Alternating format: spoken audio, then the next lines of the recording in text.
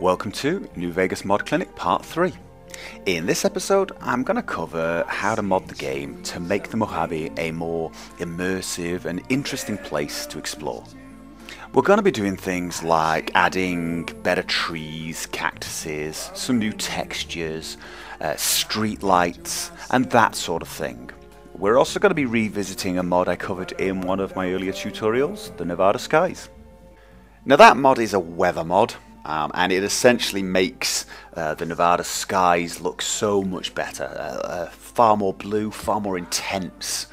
Um, it makes the nighttime far darker, far more intimidating, and a little bit scary. Um, it also adds things like rain, um, which can vary from light rain to very, very heavy thunderstorms, uh, alongside with lightning, etc. And it adds uh, snow, sandstorms, etc. Uh, just generally overall enhances the gaming experience a hell of a lot. Now, I've covered Nevada Skies in a previous video, a tutorial video, but things have changed a tiny bit since then. Um, if you look at the file section, there are now a few less files, and there is also a newer version. Now, um, I can tell you that the new version has the weather effect, but it uses the vanilla colors, the vanilla light. So it looks very similar to the way the vanilla game looks, and I prefer the original. I prefer the colors and light that Yossarian, the mod author, chose, um, or the ones that Mercurius uh, picked in the URWL version. So I'm still recommending you either pick the URWL-ified version or the standard Nevada Skies 0.63 version. If you want to use the URWL version, it's very, very simple. It's a single file now. You download that, turn it into a FOMOD, and install it. It's ridiculously easy. So I'm going to show you how to do the standard one because it's just slightly uh, more complicated, but not much. So you're going to need to download the NSky 06 data and the NSky's 063 ESP. Once you've got the files, simply add FOMod, pick the NSky's data one, make a copy of the original file, and do the same for the ESP one. Now the data has all the resources and the ESP just the actual mod file. So you will need both of them. Activate them. Takes a not very long really, a few seconds.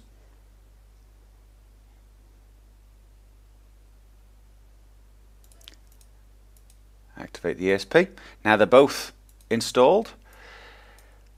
Nevada Skies should come towards the end of your load order, but it's recommended, I think, by the mod authors of Dynavision and Electro City that uh, Nevada Skies comes just before Dynavision 2 and Electro City Imaginator. So if you're using the Dynavision or the Imaginator mod, they come after Nevada Skies. And obviously, if you're using Director's Chair, which uses those two files, that comes last. But Nevada Skies comes basically last apart from those three files. And that's it, it's installed. Now the next mod we're going to cover is the NMC Texture Pack. Now this texture pack is huge. It basically replaces most of the textures in the game on um, world objects with very high quality, very detailed textures. So it's not uh, changing things like NPCs, weapons, armor, etc. It's just things like walls, rocks, roads, signs. Um, I mean, so many things. It's it's ridiculous. This is a very very large texture overhaul, um, and the detail on some of these textures is absolutely incredible. Now, many of you may be aware and may even be using um, the Ojo Bueno or Poco Bueno textures, which are equally as impressive. Um, they are slightly different, and it is a matter of personal taste as to which you might prefer. And you may actually prefer some textures in one mod and another from the other mod. Now, it is actually possible to use both of these mods at the same time. The NMC texture pack is huge, it replaces a lot more textures. Um, so you can install that and then if you like the Poco Bueno textures, the specific ones that he's made in that mod, you can actually um, install that one over the NMC textures. And then you get Poco Bueno textures where possible, and where there are none of those, it uses the NMC ones instead. Now, installing this mod is pretty easy. Um, just go along to the web page and the file section. Now, although it's easy, these files are huge um, and you have to choose between the large, the medium and the small. But be aware, the small is one gigabyte and that's compressed. Um, the small pack is what I'm going to install uh, for this particular run and there are two files to download, part 1 and part 2.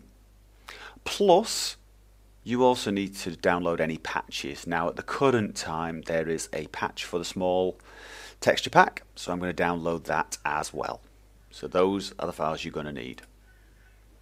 Now once you've downloaded them, you're going to open up Fallout Mod Manager, open up the package manager as, as usual, and again add FOMOD. Now pick the first file. It's pretty clearly marked NMC's texture pack for New Vegas small and at the end it has part 1 pick part 1 and just that one just pick that one. Even though it comes with two files for the small and even more files for the larger ones just the first one. Click on open and it immediately tells you there are two files that, um, that must be extracted and repacked. So you click on OK, and it then goes off and does this for you. Now, this is going to take some time because it is a large mod. Okay, so that's that one done. Uh, now let's also add the FOMOD for the patch in this case, NMC Texture Pack Small Patch. Uh, this is pretty small. Right. So first thing to do, the texture pack, the main one, not the patch, activate that first.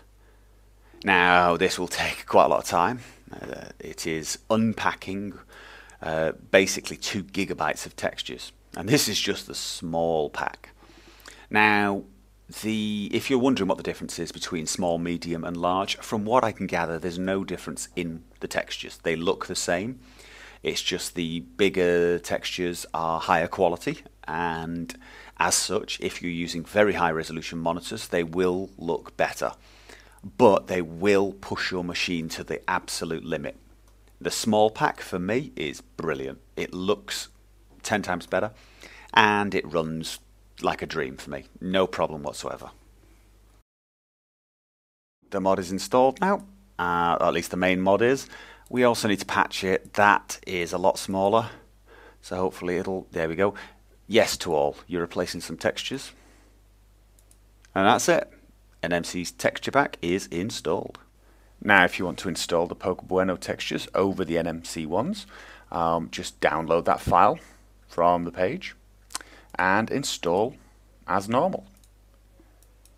Now it'll begin to install the FOMOD. It will start putting the textures in place and at a certain point it will ask you do you wish to overwrite the NMC texture pack. Now you can either go through each of these one at a time and choose yes or no depending on which texture you want or no to all or yes to all. I don't know how many of these textures overlap um, so really you're going to have to figure that out yourself but I'm just going to click yes to all from now on.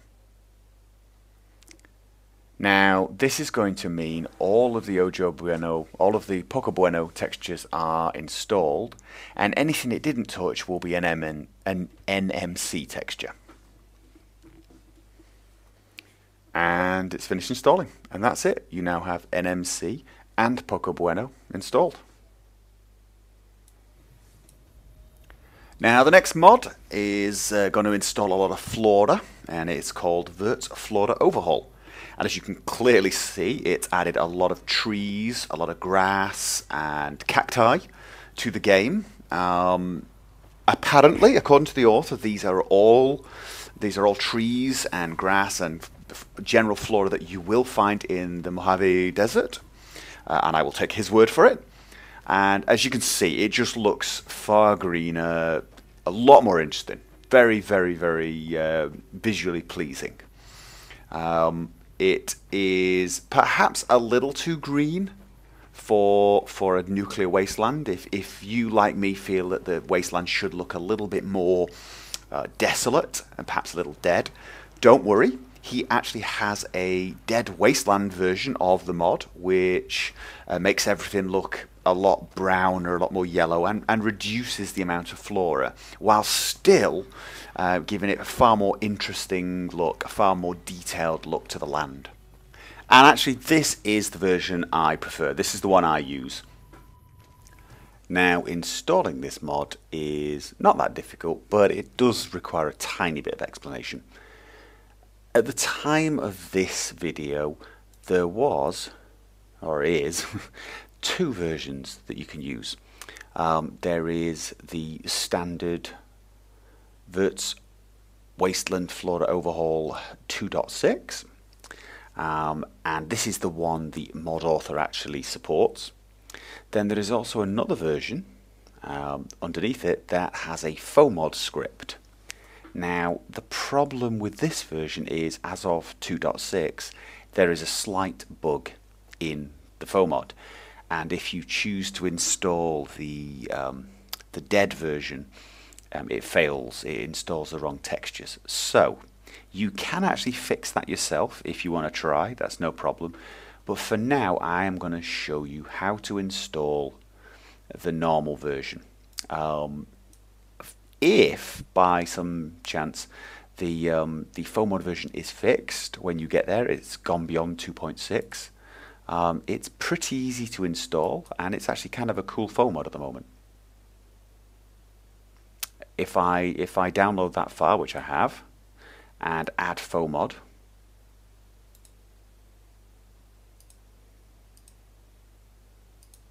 make a copy of the original, and then I activate it you get a very nice installer. As you can see, lots of options, etc. But the dead wasteland version, there's the version that's a little less green, uh, unfortunately is bugged. So you will need to fix it yourself. And I'm not going to show you how to do that. I'm going to show you how to install this the way the mod author intended. Now, the mod author's file comes as a RAR file and has two folders in it. Now, what I'm going to tell you to do is extract those to wherever it was you stored it.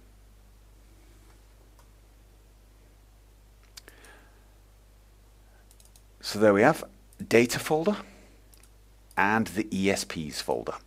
Now I'm going to make three FOMODs. The first FOMOD I'm going to make, oh excuse me, you're going to do this from the create from folder option. And I'm going to go to